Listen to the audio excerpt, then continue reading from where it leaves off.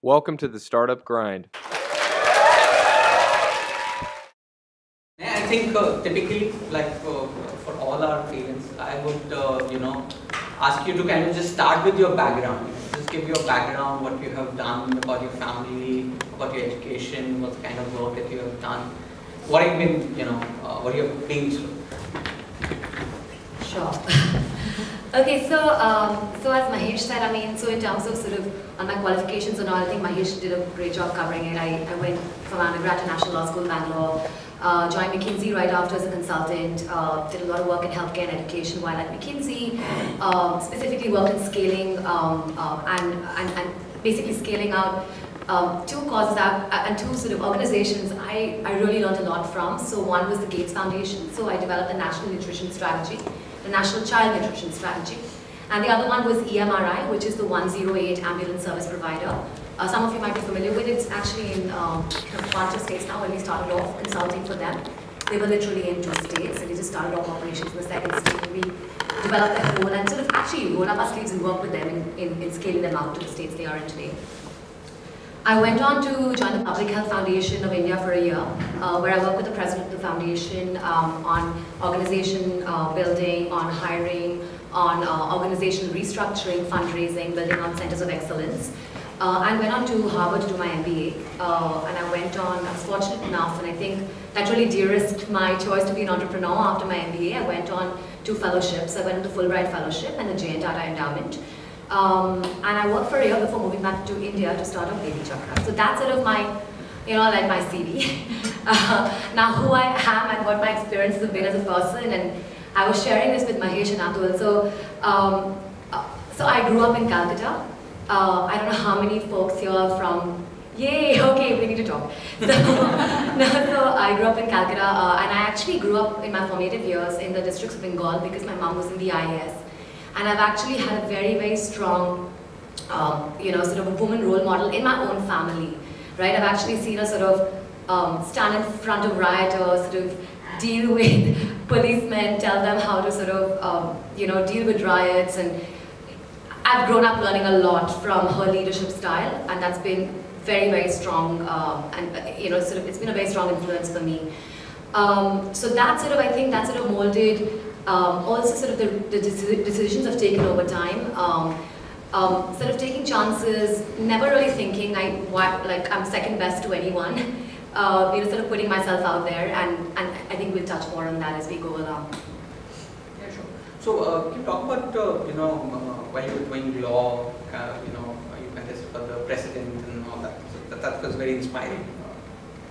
Yeah. So, so that was. Um, so let me just put some context, right? So I, uh, like this is when I was what, nine, uh, 19, 20 years old. I'm at National Law School, Bangalore, which is actually one of the most liberal uh, colleges you'll find uh, for your undergrad education in India. Uh, and I would argue almost internationally as well. It's very, very liberal, very progressive. Um, the day I stepped into the law school campus, I knew I wanted to be the president of the Student Bar Association. I don't know what it was. I just wanted to sort of be the president. I just knew that's what I wanted to be. So I, I kind of said that I need to be class rep, I need to sort of, you know, represent the student body, all of that stuff. So I did all of that for three years. In the fourth year, when it came to standing for president, I put in my nomination papers, and I had, uh, and and the person who was standing opposite me was this guy from my batch, incredibly popular, lovely fellow. Um, but I got a lot of messages from, from my friends and from my batchmates saying that, um, you know, he's a guy, let him stand, you can support him through the journey. And it was very odd, it was very at odds with the experiences I had so far. It was interesting. Um, so I was sharing with, uh, with Mahesh and Atul, I think that sort of uh, made me even more determined that I'm not going to be second to anyone. I don't want to be vice president. I came in thinking I want to be president, I want to be president. So I gave it my all, and, uh, and it was a close call. It was a close election. Um, I, I also shared with them that over time I did lose a couple of friends, or so-called friends along the way, but then I think that's, um, I think when you want something really badly, you have to realize you're not running a popularity contest. You're doing, you're doing stuff you really believe in, and you need to just get out there and, and, and be the best you can be, right? So, um, yeah, I mean, it's not easy. Um, and I think as, I think many times as women we hold ourselves back. We're like, okay, it's fine, you know, like this time let this person take over. It doesn't matter, you know, it's fine. But every time we do that, it adds up. Uh, so don't do that. like don't let even one instance come that way unless unless you really feel the other person is more deserving than you, unless you really feel that this is not the correct time for you to do that. So uh, typically, not a lot of lawyers uh, take up a McKinsey job. What was about McKinsey that really excited you to take up? So you know, Mahesh, I didn't know anything about McKinsey when I applied. So when McKinsey came on campus, um, you know, they all these like smartly dressed men and women came on like in our uh, in the conference room at, at NLS, and uh, they talked about sort of just the work they did, and that's what really inspired me. So the fact that I could work with um, with large foundations, I could work with governments, I could work with large corporate entities, just the sort of the, the, the variety of work I could do. And, and more importantly, the kind of impact that they talked about that they were creating, right? The fact that they were making strategies that affected people at scale, that really called out to me and that really appealed to me.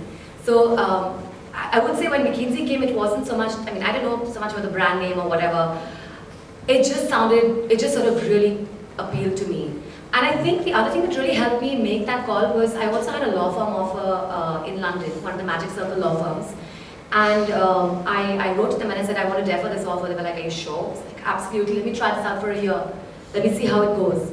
And, and, it, and it went really well. So I, I think that's what really, um, you know, the whole thing about creating strategies that go to scale, that impact the lives of millions of, not billions of people, uh, working with some incredibly talented people um, and with different skill levels and different skill sets, I think that really appealed to me about McKinsey.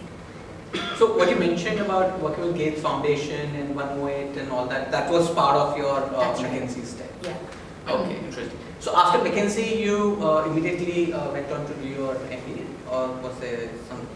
uh, no, so I actually uh, went on secondment from McKinsey to the Public Health Foundation of India. So uh, I don't know how many of you have been following public health and tracking public health, uh, you know, policy issues, etc. Anyway, I was, I'm, I'm, really passionate about healthcare and education. I've always been. So uh, PHFI actually is a public-private partnership that was started by, you know, support by McKinsey, Government of India, um, uh, the Gates Foundation, and um, and they were doing some really cutting edge, uh, cutting edge research as well as policy work in the public health space in India. And they were fairly new uh, at that point in time, and the president, so the whole anti-tobacco, uh, you know, the smoking ban in public places. So, you know, they were the organization. He was the like the president was the was the brain behind it and was the the advocate behind it. Um, so that really again called out to me, and I said, I want to build out this organization. Let me, and I want to learn. Right? It's almost it was almost a startup at that point in time. And I think what was really interesting about my time there was um, I was involved in some very sensitive uh, organization restructuring work. Right? So what was happening earlier was that the president, because we're a smaller foundation and that's how startups grow, right? You have 50, like earlier you have five people reporting to the CEO or the president in that case. But eventually you have 55, you have 60 people reporting to the president, to the CEO, right? So half his or her time is taken up in managing these people who are direct reportees and that's the way they feel they get the influence and power from. And I was brought in to basically sort of figure out what those layers could be without ruffling too many feathers. And people would come up to me and say, hey, so am I going to lose my job? Uh, or am I going to be here, but I'm not reporting to Dr. Reddy, so what, like, what is my role anymore? Like, what, what's happening to me? Right? So I think in terms of just like a crash course on being part of an organization and managing people and managing egos and managing fears at many levels, um, I think it was an amazing experience. And I think the second thing that PHFI did really well was um, we were meeting government officials every day. Um, you know, I, uh, we were meeting, um, you know, heads of, um, you know, foundations every day. So um, and fortunately at McKinsey, like, you know, do remember I was like, that's like, you know, eight, nine years back, I was much younger. But knowing that I could have a seat at the table and that my ideas are as valuable as any sort of grey-haired man or woman out there, I think that gave me a lot of confidence. Okay, interesting. So after that, you immediately went for your Harvard uh, yeah. So why did you? I mean, I think you were doing well in your work. Why did you kind of choose to kind of go for an MBA um, I think uh, so.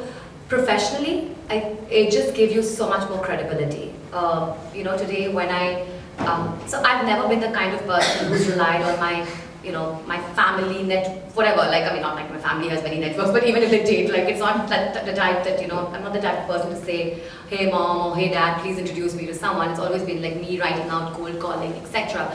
And I think for me to build out my own personal brand and my own personal street cred, uh, something like a Harvard is uh, has been an incredibly strong brand to to have um, with my name. And I'm not gonna I'm not gonna beat around the bush on that one, right? It is it it really helps open doors. Um, so I think that was one of the you know the professional reasons. Personally, I was really kind of infatuated, I would say, by the fact that Harvard is, like Harvard Business School is an amazing place to be, of course, but it's also part of the overall Harvard, the Boston, the Cambridge ecosystem, right? So literally my second year, you would never find me on HBS campus except for the parties. I'd basically be like hopping around, going to the Fletcher School of Law and Diplomacy, going to the Harvard School of Public Health, going to the School of Design, going to MIT. So basically just hopping around doing multiple courses, really immersing, talking to undergrads. My God, the Harvard undergrads, some of the smartest people I've met. Um, so just sort of immersing myself in that entire ecosystem environment, and um, and I think that that for me was was incredibly like an incredibly potent reason to be uh, part of Harvard the time I was. Okay, interesting. And then uh, uh, you were working after Harvard, you took Yes. the job, right? I mean, that was again, I think, consulting. That's right. So I was working with the Bridgespan Group in Boston uh, with the understanding. So I went on the Fulbright. So I knew I was moving back to India after a year for sure. Uh, so I when I uh, so the it's, interesting. The Bridgespan Group doesn't uh, doesn't take international students, uh, and they made an exception in my case. It was very kind of them, and I think. Uh, and I was very frank. I said, I'm going to be here only for a year. I'm going to immerse as much as I want to, and I'm going to leave, and I'm going to go back to India. And they were like, that's fine with us. Like, enjoy this time, learn as much as you want from this time. And I did. Um, so what I was doing there was I was working with, I don't know if you guys have heard of Right to Play. It's an international uh, foundation that actually works with uh, building resilience and grit in young children. So anyway, I was working on, on scaling them out um, um, across multiple countries. Um, and I was working with uh, building out influence strategies for a couple of large foundations. Um, I mean, which I can't tell you the names of for reason of confidentiality, but um, so it was, it was a really cool experience. Okay, interesting.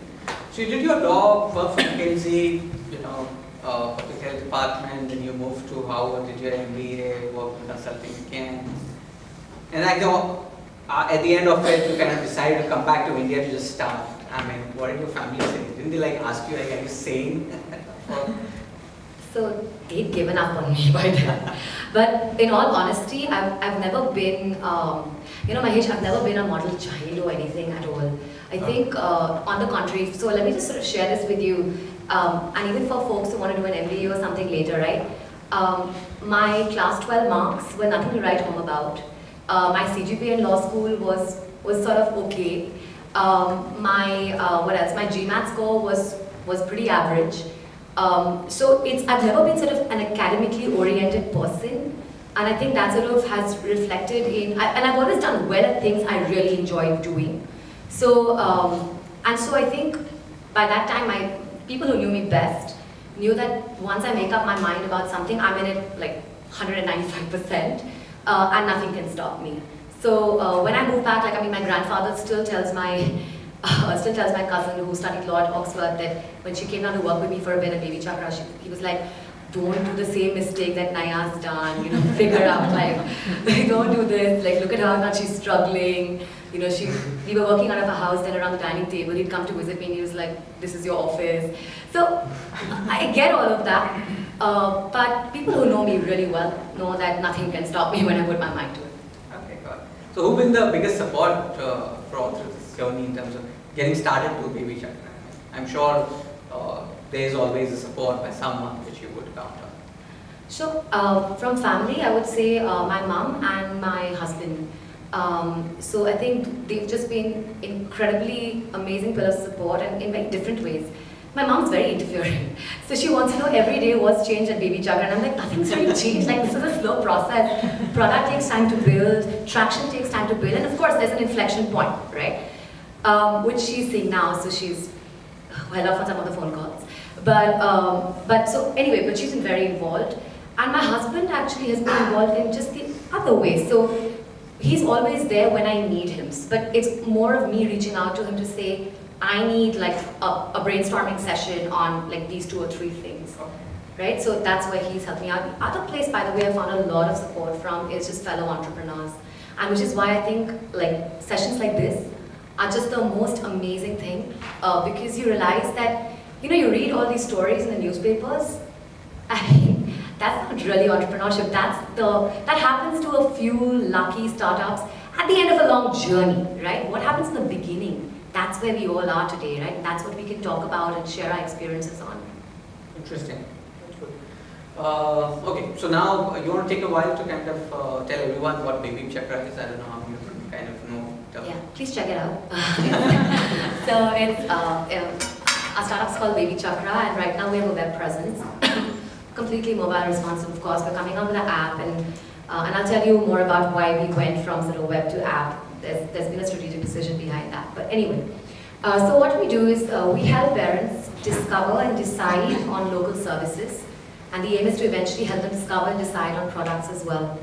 Um, and this is right from when you're expecting a baby, so minus nine, to when your child is five. So it's kind of a play on the nine to five, so minus nine to five, so people remember it. Um, and and the, the cool thing about Baby Chakra and the, the tough thing about Baby Chakra has been that we didn't just start off like a classifieds platform, you know, sending people on the street and collecting information and collecting data and listing services on our platform.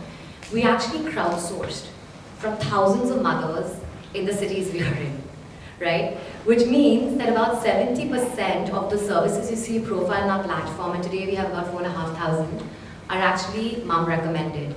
Which means the quality of the services you see profile on our platform is incredibly high. So if you think about it just strategically and tactically, what is the game we are playing? We are playing the game of credibility, of really providing support to a mother, to a young mother, to a young dad, right? So when you're starting off a venture, I mean, you have two options. You have, and especially when you're a dual-sided player, right? Like I have my consumers, my mothers, young parents, dads, and you have your customers, local services, brands, etc. When you're young and when you're early, you can play to one of them and you can be sort of the champion for one of them. And we chose to be the champion for the mothers, right? We said, let's be, let's have a consumer first approach. Let's give them the best experience they can possibly have. So that's sort of been uh, the reason for all the crowdsourcing. Uh, the other thing we're really building out very aggressively, you'll see a lot of very exciting things on our platform soon, is very strong social integration. So uh, as a young parent, if you know someone's reviewed, so we have you know more than like 2,000 reviews on our platform now on local services.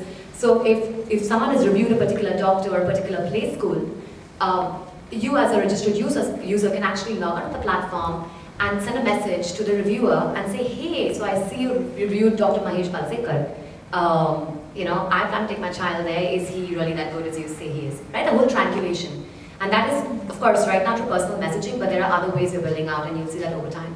So, uh, firstly, why the name Baby Chakra? Because of the dot com available.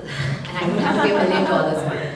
Uh, no, but on a serious note, um, literally it was, um, you know, so the we schedule a brainstorming session and the other thing I must tell you about my team is that um, initially we could go brainstorming for hours until we realized that now each of our brainstorming sessions we put a hard stop at 35 minutes and we're like no more this is it this is this is the brainstorming time that we have as a team because there's so much work to be done but what happened there was uh, we literally took a whiteboard uh, and we sort of wrote out different names and uh, I was writing on stuff, my co-founder was suggesting stuff, and we were looking at, you know, different, like checking it out whether there was a dot com available to each. It was literally like that.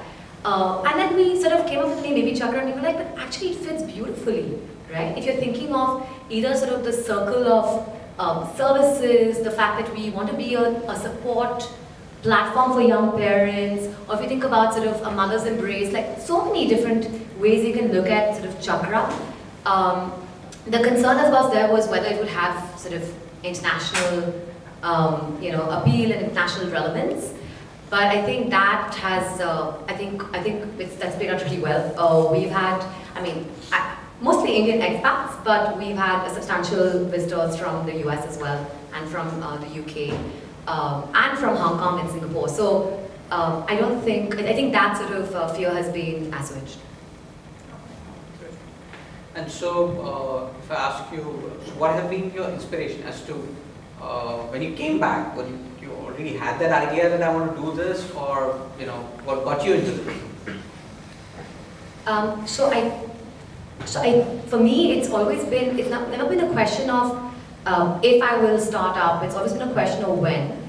And um, and you know, one thing that so I I tried my hand like at a very very initial level at two startup ideas earlier. Um, one was, you know, I registered a domain name, started working on it while I was at McKinsey. It was legalfrac.com. The idea was, you know, again from my experience in law school, how to source a good lawyer. Um, you know, and of course, lawyers not allowed to advertise, so how do you really get to know about a good lawyer? So, um, sort of a network for lawyers, uh, but for consumers to, uh, for you know, for cl potential clients to interact with lawyers. Um, didn't go very far because again, you know, it was very early. like the, the whole sort of the ecosystem and the support systems you have today weren't as robust at that point in time. The second thing I worked on was a uh, was a platform called College uh, which was again sort of uh, you know reducing information asymmetry around colleges in India. Uh, so I knew there was a Shiksha.com, but I felt that we could do a much better job at at sort of matching students to the to their career tracks and to the colleges that would suit them best. Um, so I mean, the, basically the underlying theme for whatever I've actually personally loved is a consumer-facing um, uh, venture. Uh, I'm really fascinated and I, I, love the idea of building out a brand that people remember and people recognize and, and, and helps people's lives in very, very tangible, substantial ways. And number two, reducing information asymmetry because so much quality differential um, exists in any of the sort of the critical services we uh, consume every day. Um, so how do you remove that? How do you uh, ensure people make great choices, better choices for themselves and for their families and therefore impact their lives in, in, in substantial ways? That's sort of always been the motivation. Um, so when I moved back and I looked at sort of the local services space, the sort of, if I take like a high risk, high trust, sort of, you know, two by two, using my consultant hat, uh, the one that was most compelling to me and the one that had a really coherent story, you know, and, and a coherent sort of potential to go to impact was this whole mom, young child space and the local services around it. Um, it was a wide space, no one was doing anything about it. Um, and so we were like, we should be the ones changing this and disrupting this space. So no, I mean, uh, before asking the question, I thought maybe all your friends were married and they were kids, and whenever you met them, they were complaining. I mean, yes, but um, I think friends complain about so many things. so you just have to sort of figure out what you're most passionate about, where sort of it's also sort of opportunity and, and a mix of opportunity and where your passion uh, lies as well, right? Where you want to build out a business. So that was basically the reason. And uh, you have a co-founder for Exhibition, right? So uh, was it like the idea kind of struck both of you together, or how was it? I mean, how did you kind of really decide that we should be together to kind of start it? Okay, so first of all, how many uh, entrepreneurs who want to start tech businesses and don't have a tech background here? Okay, yeah, great. So, um, so yeah, so let me sort of just sort of talk to you a bit about my team right now, and I think it'll be helpful to people who don't come from tech backgrounds, right? So I don't have a tech background. I have like this, you know, typical people get paid when I say I'm a lawyer. I'm a lawyer and a consultant. People hate me immediately outside, right? But uh, the point being that I don't have a technical background. My co-founder Mitesh, um, and he wanted, he's an ex-banker as well, so he worked in the financial services space. Um, and he was, uh, he was leaving banking to actually start up something in the offline kids segment. So he had started the segment well, incredibly bullish about it, um, and he's a high school friend of mine. Um, so I've, we've trusted each other for the last 16 years. I've known for the last 16 years, right? So we said, let's just try this out, right? So we started off with, you know, literally launching a Facebook page where nothing, nothing else existed. Finding out, like, from, you know, consumer sentiments, what people are looking for, what, what posts people were engaging with well. Um, you know, what uh, questions are being asked to us through the Facebook, like literally it was free, right? Um, and then over time we kind of outsourced our initial product to um, to this really uh, to this to this company in uh, in Bombay, um, and they built you know I don't know how many of you I'm sure many of you have read Eric Ries, right? Uh, the lean startup. Um, this was the leanest of the leanest of the lean alpha product that could be out in the market. But what helped us do, and we, we spent very little money on it, we spent a lot of time on it. Uh, it was out. We just launched really fast, as fast as we possibly could, just to understand what were people engaging with, how was word spreading, uh, what was working, what was not working, building our sort of street cred also with the businesses that we were dealing with, the brands we were working with, right? And as we saw traction grow, our team, we got amazing folks writing in saying we want to be part of the team. So right now, while we were two co-founders to start off with, we actually are a core team of four people. So Mitesh and I, Himanshu, who takes care of the entire sort of web backend, he used to work, he used to be part of the early team at Quikr. And Mohit, who's an IIT Delhi grad, worked at Zomato, um, and is incredibly familiar with sort of social integration on mobile as well as web platforms. So, I mean, just, it's not, I want to put all of this in context, the fact that as a non-tech founder, non-tech co-founder, don't lose hope and don't wait till you have that tech co-founder on your rolls or with you, right? Start off because people will join you if they see the passion, the conviction and the traction. That's very interesting. Uh, so your team, I mean, when you started with just two of you, right? And so how were the initial few days? And you said you launched with the Facebook, just the Facebook page. How was really the first interaction with the customer? How was it? If you can just kind of elaborate a little bit on that. So, um, I would say the first few days were just this heady excitement. Um, it was like falling in love. I mean, really. And I see a lot of like nods there and smiles there. I guess you guys get it. It was like, yo, we're building out the best thing ever. We're going to change lives. People are going to love us at sight. Uh, we're going to disrupt everything. It didn't really work out like that. we're still learning. We're still growing. Um, but the first few days, I'll tell you what kept us going.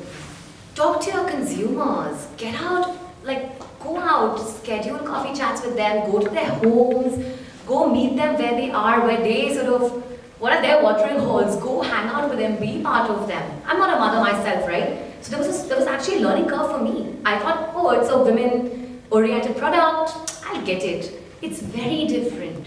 You have to understand messaging that works. You have to understand what your brand, what your identity stands for. You have to understand what really resonates and what people remember, right? Uh, and initially, like literally with the two of us there, and the two of us are Baby Chakra, right? Um, people remember you uh, as Baby Chakra, right? So you are the best salesperson for the idea, for the vision, for the product that you intend to create, and people will will join you if they believe in you. Um, so I think that, so my first set of consumer interactions are more about sort of telling people about you know, my background, myself, why I want to do this, uh, and, and, and actually listening to them. So I would say if I were to split up my time in, in chats, it would be like, you know, like a 6%, uh, 6 to 8% sort of talking about Baby Chakra, the vision, uh, but that would be after I'd listened to my consumer uh, in that one hour long conversation. And that's where I really spent my time. Okay. That's interesting. So uh, this is how, how, many months back uh, was this? We registered as a company in February uh, last year. Uh, and that's when we actually started working as well. Okay, so February 2014 yeah. to now March 2015. Yeah. Uh, what has been the growth? So what's the situation today? So we've grown, um, so from our alpha product, we've grown like 35x in terms of traction. Uh, we, um, we are, we, we technically call ourselves pre-revenue. Uh, because we focus on the consumer um, sort of, you know, creating credible experiences for the consumer early on. Uh, but that said, we are close to um, signing two big deals with two major brands, and uh, so we should be doing pretty well. So, uh, we are in two cities, in Bombay and Bangalore. Uh, like I said, four and a half thousand services. Uh, we have, um, um, you know, registered uh, um, user base of about 25,000 people who get access to our newsletters as well as sort of use our platform. So it's um, it's it's growing and it's growing really fast. But I mean, of course, like the effort is on to push it to grow much faster. So how do you, uh, if I were to track, or how do you track your business? I mean, for you, it's about registered users or the amount of interaction that you're doing? I mean, what do you really track and how are you pushing it further? So we track on two metrics. a business like ours, now every, every business will have their own metrics to track, right? So um, this is not, of course, universally applicable. Uh, the metrics I track are the number of visitors I get on my platform every month. Yeah, and I also look at um, sort of the engagement levels that they have with the product. Okay. Right? Uh, so that's what I track from the consumer side, and that's sort of been my main focus so far. Uh, but it's large, like if I think my prior, like my primary metric, it's a number of pe people who use our platform every month. Okay.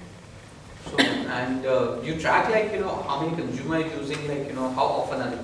So if somebody would come just once a month just move out versus somebody coming every week and, you know, kind of doing that. So we, uh, so we have some basic tools in place that help track the repeat engagement and you know sort of cohort analysis and all of that. Uh, but uh, what we're trying to do is actually get a couple of levels deeper. So building out our own user tracking module uh, uh, backend where we can actually track where the person um, you know really engaged with our platform, um, you know uh, what their sort of engagement rates were, you know through the content or through the different local services. So over time, what we're trying to do is not just track for the sake of track, tracking, but for the sake of improving our platform um, and, and getting better at what we do. Now, uh, I think, uh, so in terms of your target segment, which is like moms now, you know, after having a baby, I think pretty much all their time is in terms of taking care of uh, the baby. How do you really thought of marketing to them? because you know getting their time and attention uh, I don't know I mean I can't think ways in terms of how you can market to them so what did you talk about marketing to them and how do you do that so one of the busiest people in the world person in the world is a young mother she's incredibly busy right and I think what these consumer conversations and these coffee chats help us understand was when she gets some time off or when she's sort of, you know, looking for stuff, where does she go? Right? And that for us was sort of a starting point for engaging with her. So, I mean, mothers are on, of course, on social media. They are on Facebook, they're part of, you know, these large Facebook groups, etc. They're also on WhatsApp, of course? Um, but also, what we realized was that there were these local mom influencers, online and offline, right? So some mothers were incredibly vocal, and who uh, sort of influenced decision making. Um, so what we tried to do was actually identify who those people were, uh, both online and offline, right? And we reached out to them. And we sort of co-opted them. So we have something called a Mom Stars um, initiative where we actually have about 10 mothers in Bombay, like 10 really influential mothers in Bombay and 10 really influential mothers in Bangalore um, who work, whose, whose basic sort of job profile or whose basic role is to engage with and promote BabyChakra. Right? So we actually said, you know, word of mouth works really well, but how do we structure and organize word of mouth? Right? So that's what we started off doing. Uh, the other thing, of course, we realized was, again, you know, sort of deriving from just strategies of influence. Uh, there are certain influencers, some of them are already very crowded, like, I mean, a, a doctor, like a pediatrician or a gynecologist, these are very, very crowded platforms, right? But there are other watering holes.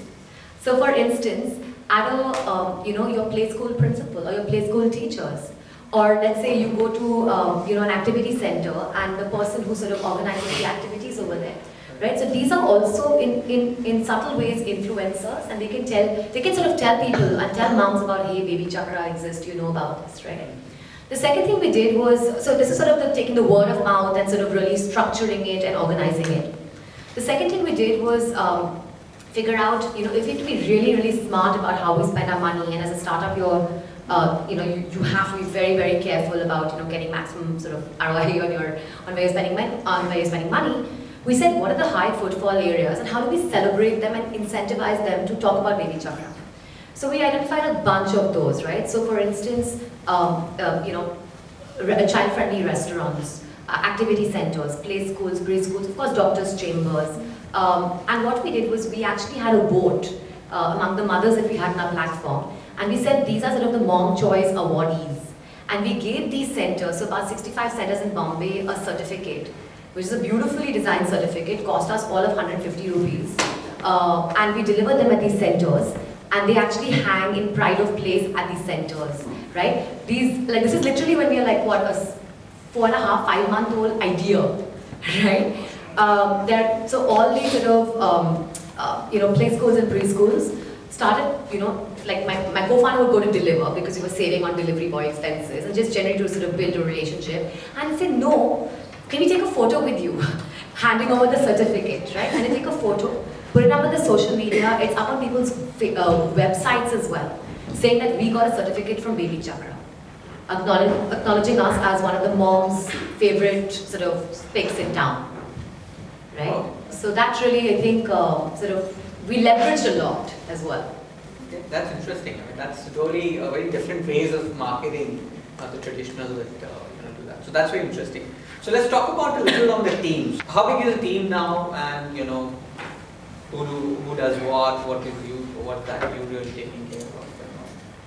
So we're about a 12 member full time team, uh, and plus we have a, a bunch of folks who work with us part time who are amazing.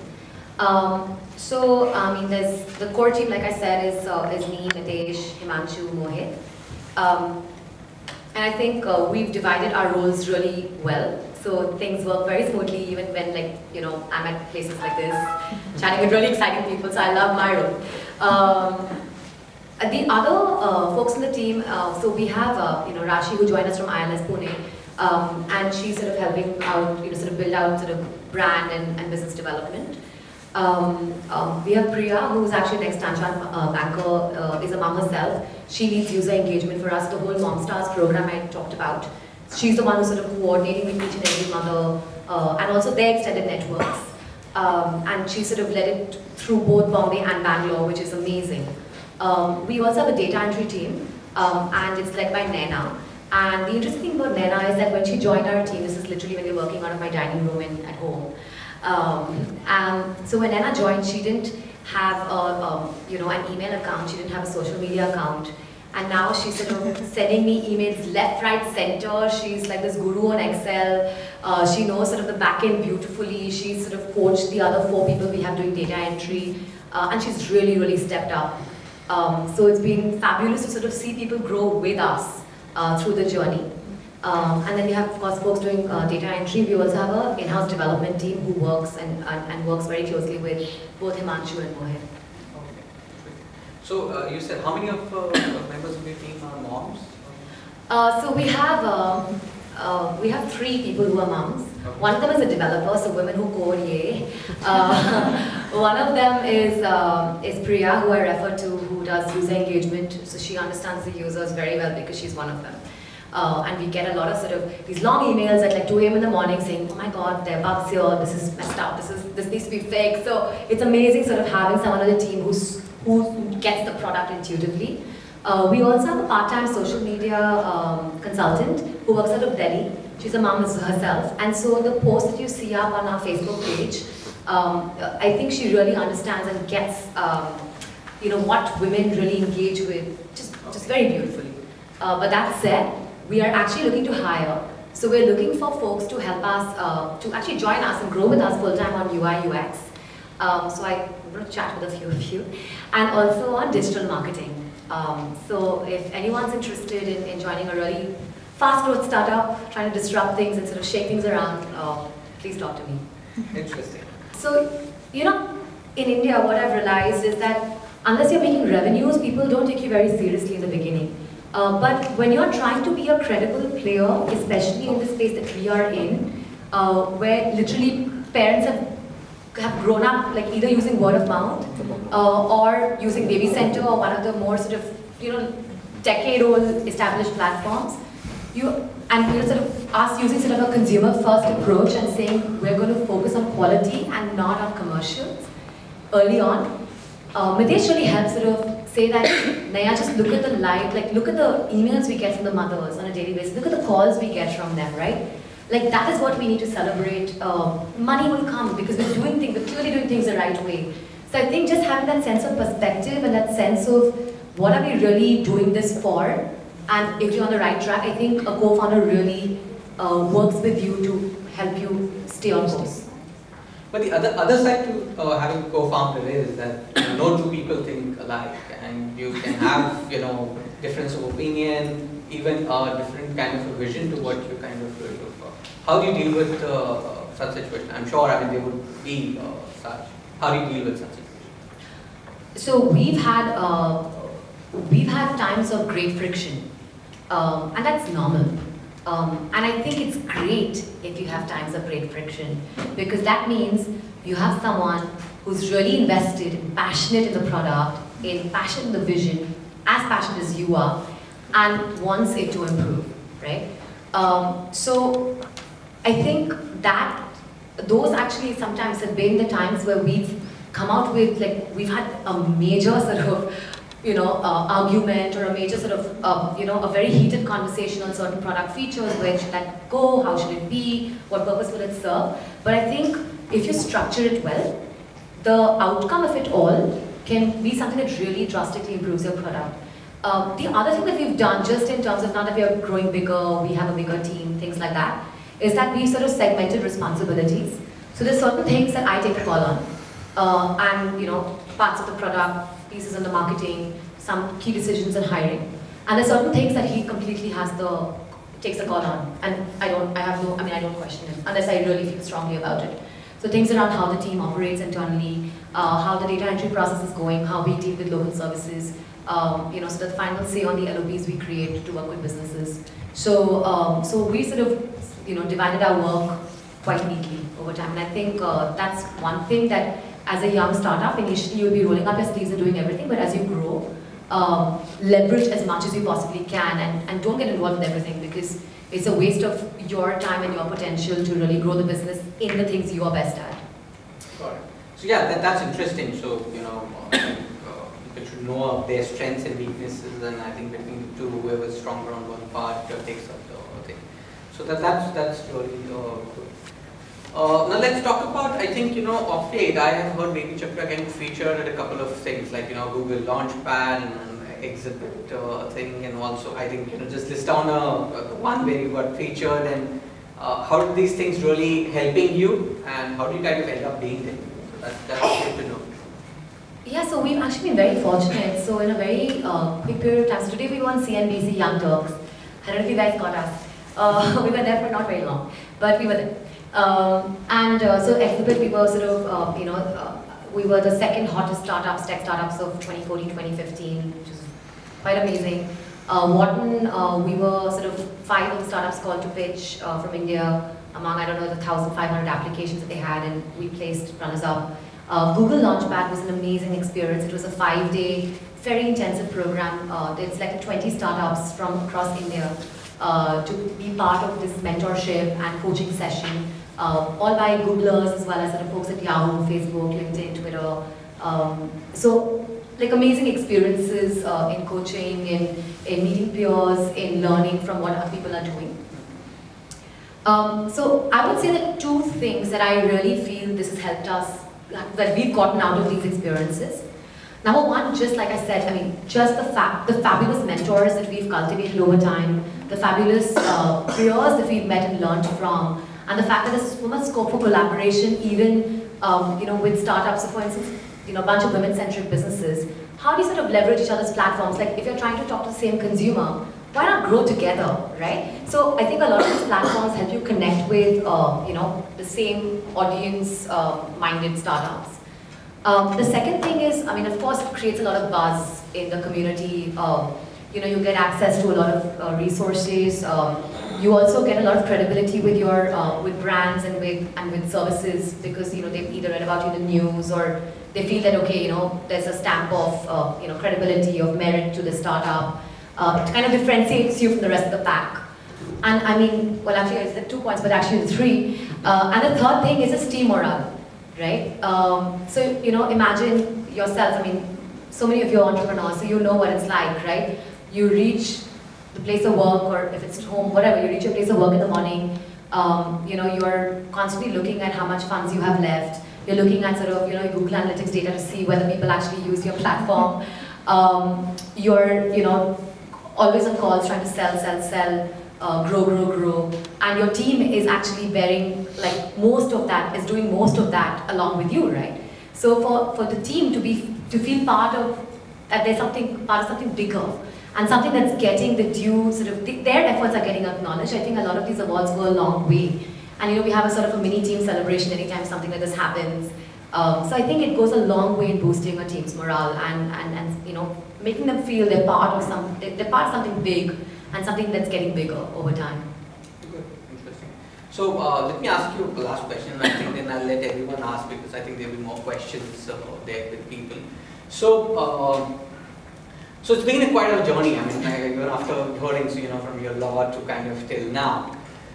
Um, what are the probably two, three things which you think you have learned by doing all of this, which is what you probably every day apply in your work, or what really keeps you going, or you know, the days when you kind of really going? What what really keep you going?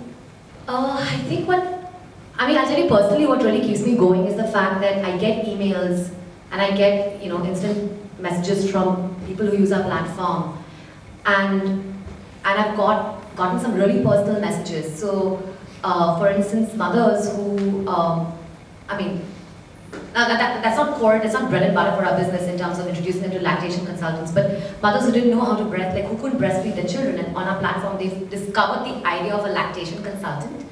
And they said that now I can actually breastfeed my child. You're giving me access to resources I didn't even know existed, right? And I've gotten very emotional emails from them. So I think uh, also with local services, so the other day, it was, it was actually a day of celebration at our office. So uh, we got back-to-back chocolates. Uh, we had, um, uh, you know, a baby photographer who got as many as six orders from our platform in, in listed with us in two months. So she came uh, to the office with her son and her husband with a box of chocolates saying, I love BabyChakra, you know, I want to pump up my package uh, and sort of how do I go up the subscription package. Uh, and like literally like two hours after that I got a call from a de delivery person downstairs saying that I've gotten chocolates from, for, for your team from a young mother who'd just given birth. and she was part of our, uh, our, our, user database and she sort of used a lot of the resources and she sort of sent us her, you know, chocolates is thanking BabyChakra, right? So, I mean, so I think things like that really keep us going. Um, in terms of lessons I apply every day, uh, and for me personally, um, just put yourself out there. Uh, you never know where an opportunity comes. You you don't know where you meet that, that, that person who actually becomes a very critical part of your team or sort of joins you as a mentor or joins, or, or you know, there are partners out there that you can collaborate with. So just put yourself out there. Um, you know, start early, launch early, launch with a, a buggy product, launch with a basic product, but understand from the consumer what they are looking for because don't sort of start off with assumptions. I mean, you can of course start with assumptions, but like test those assumptions constantly and improve and iterate, right? Based on also what you hear from consumers. So just launch early, launch fast, fail fast, learn fast. Um, and the third thing is, your team is incredibly important. I mean, is all of us hear that, all of us say that, but it's it's it's actually what makes uh, a you know a vision a reality. Um, and when and I think a lot of people forget that a team is actually people uh, they have their own vision, they have their own dreams, they have their own ways of working and functioning, um, and they have their own motivations, right? And I think early on, as a founder, spending time understanding what their motivations are, understanding what drives them, and how you can create an atmosphere for them to really have them given their 100% is incredibly important because then that percolates, right? So Naina, like I told you guys about, uh, the data entry lead, we understood her really well, and the, the way she leads her team now, her mini team now, we're actually completely hands off. It's, it's all been delegation, right? So as you grow and as you, as you sort of start off, I mean, start off to grow. Don't start off just to be transactionary with people and with partners and with, with whatever you're doing at that point in time.